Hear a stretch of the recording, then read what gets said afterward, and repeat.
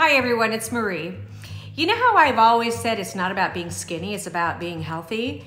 Well guys, it's true, especially right now. And Nutrisystem, they can help you do it.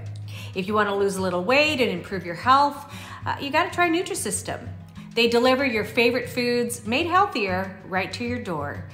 And you even get these delicious shakes. They're full of protein and probiotics and they help support your immunity. They, they rock. Make today the day that you decide to take control of your health with Nutrisystem. Trust me, it works.